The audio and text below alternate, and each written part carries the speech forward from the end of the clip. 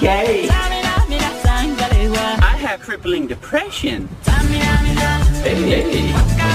I'm gay. What a lovely day!